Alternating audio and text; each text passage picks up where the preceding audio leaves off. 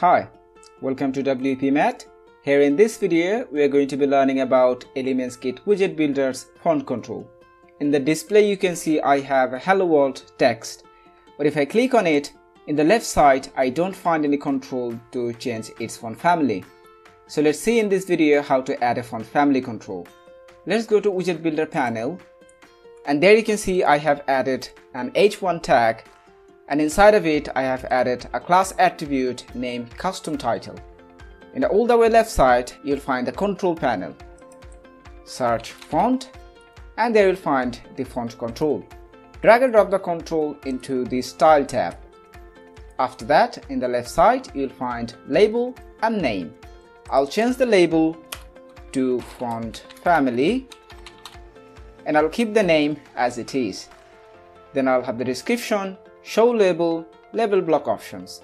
I want to keep these settings as it is. After that we have CSS selectors. Now click on the CSS selectors and there you'll find the selector field and the property field. I'll copy the class name and paste it into the CSS selector field.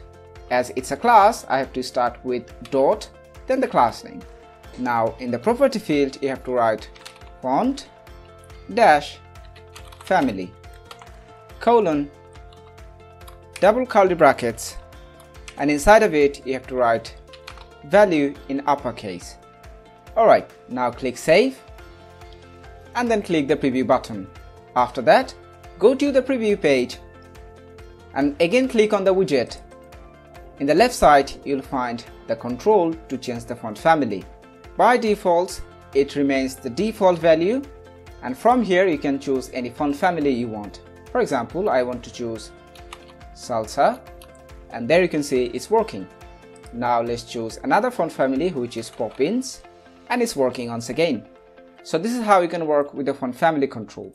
Thank you for watching this video.